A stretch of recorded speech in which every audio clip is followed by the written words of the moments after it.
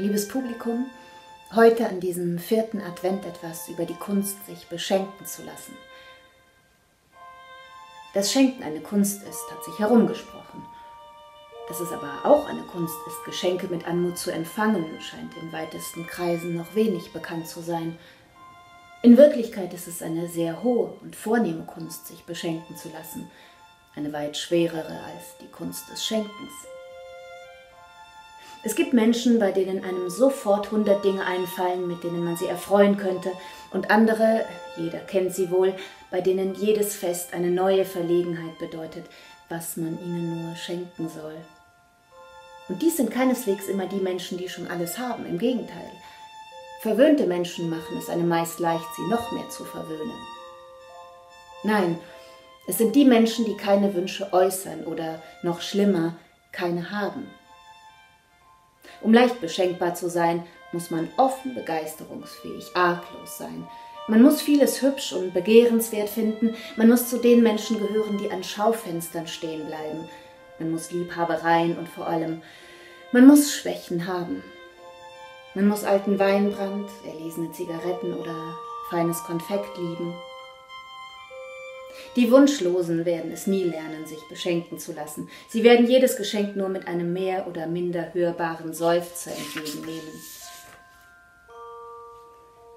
Dieses Lächeln des Schenkenden, wie oft bemerken es die Beschenkten wohl? Sehen sie niemals, wie viel Erwartung und Vorfreude darin liegt? Hier ist es nun, das Geschenk, die Frucht so vieler Erwägungen, das Zeugnis so zarter Aufmerksamkeit, wie wird es aufgenommen werden? Wird man es jetzt zusammen ausprobieren, genießen, loben? Wird jetzt dies kleine Fest der Zuneigung und Dankbarkeit gefeiert werden, das der Sinn des Schenkens ist? Schüchtern und erwartungsvoll lächelt der Schenkende, und der Beschenkte merkt nicht, wie aus diesem Lächeln, das schön macht, auf einmal das trübe Clownslächeln des Enttäuschten wird. Die Sitten des Beschenkten sind rau. Sollte man es für möglich halten, dass die Leute gar nicht so selten sind, die Geschenke mit Äußerungen quittieren wie das kann ich ja gar nicht annehmen oder im intimeren Kreis du hast wohl zu viel Geld. Man könnte weinen, wenn man sieht, wie viel Freuden hier im Keim abgewürgt werden. Man muss den Beschenkten zugute halten, Sie haben in dem Spiel, das der Schenkende mit ihnen spielen will, bei weitem die schwerere und undankbarere Rolle. Unvorbereitet, überrascht vielleicht, müssen Sie das Geschenk verstehen, die Aufmerksamkeit, die Anspielung herausfühlen, und gerade in diesem Augenblick fällt Ihnen die Führung des Spiels zu. Die Kunst des Empfangens fordert Geistesgegenwart und Konzentration.